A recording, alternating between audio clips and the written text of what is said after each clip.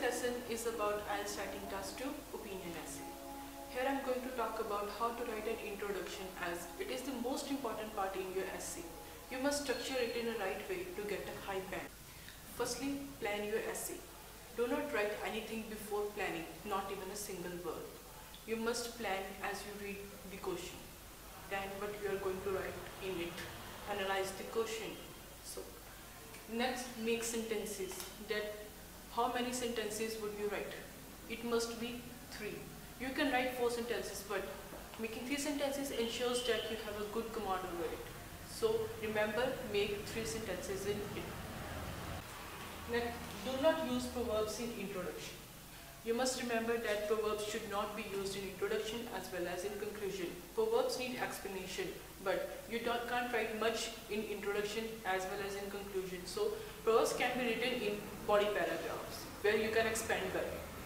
Here the question is, advertising buy in quantity rather than promoting quality. To what extent do you agree or disagree? The question is, to what extent means how much you agree to the statement. You could agree, you could disagree to the statement or you could agree to the part of the statement, not the whole.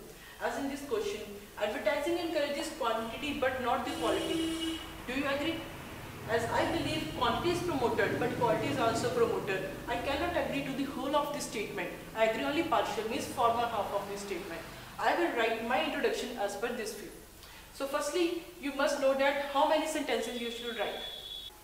Now, three sentences should be written. That first is the hook. The hook we can call it as a journal line. Journal line is the general view of the question. As the question is about advertising, so journal line should be about advertising. The next is the background statement. Background statement is the paraphrase statement. We can call it as paraphrased statement.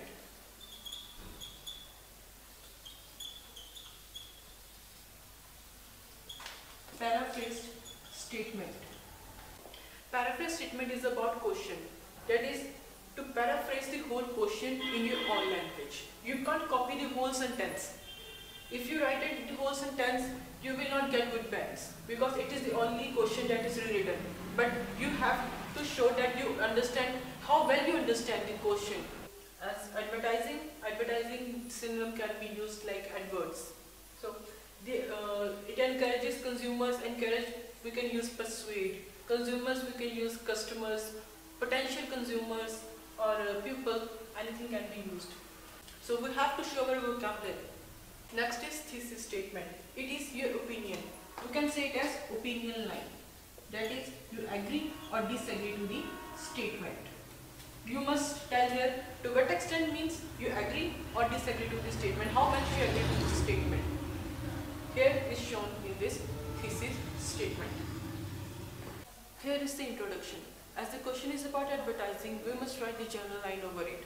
As advertisements have become a part of our life, we can write general line as it whether it is on TV, radio, hoardings, and the side of the road, advertisements have become a part of our life. It is the general line that is about advertising. The question was about advertising that encourage people, so general line should be about advertisement. Next is background statement, that is paraphrasing the question. As the question was about advertising that encourage people to buy in quantity rather than promoting quality. So it encourages people who can use persuade in spite of encourage. To purchase in large quantity, that is to purchase what? Purchase goods and services. And the question was rather than promoting quality. So we can say without paying any heed to their quality. That is heed, attention. Without paying any attention to their quality. Critics of advertising, that is who criticize. That people promote only quantity, not the quality. Critics of advertising accuse marketers of persuading people to purchase products and services in large quantity without paying any heed to their quality. Here is the background statement that is paraphrased. Here is the main question that we must state how well we understand the question. We must show our vocabulary here. We cannot copy the whole sentence. Next is opinion line that whether we agree or disagree to the statement. Here I disagree that adverts do not promote quality. I agree to the former part but I need not written here because I disagree to the only partial part of the statement. I cannot write that advertising persuade people to buy in large quantity. because the most important question is rather than promoting quality. The main focus is on quality. So I must state that I agree or disagree to that statement. So I write here, I disagree that adverts do not promote quality. I use the word here, adverts, in place of advertising. Here is the introduction. Here emphasis in the background statement by saying that critics of advertising accuse marketers.